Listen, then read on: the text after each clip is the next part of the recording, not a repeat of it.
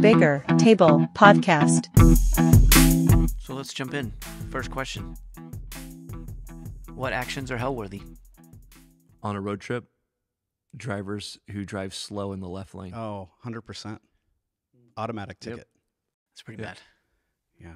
What other ones? Similar to driving, I think if if you if I'm backing up my trailer or my camper and somebody's behind me like doing this or tell me which way to turn the wheel. This doesn't help me.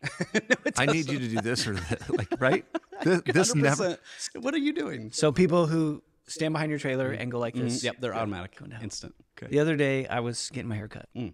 and the guy cut my hair. We were talking about like what day it was and what we were doing. And it was a Wednesday, and he and he goes, "Today's my Tuesday." See, I mean, you can't say that, right? And still go to heaven. I don't even know what that means. What is he trying to do there? Does he have, Can- mon- does no, he have like you can off? say you can maybe say today's my Friday. Yeah, that like makes sense. I get that. That's but that's borderline. That means like the next day is your weekend, right? Today's my Friday. What what does that actually mean though? It has to mean that If- he has Monday off. Yeah, and if it is Wednesday, then that's the first.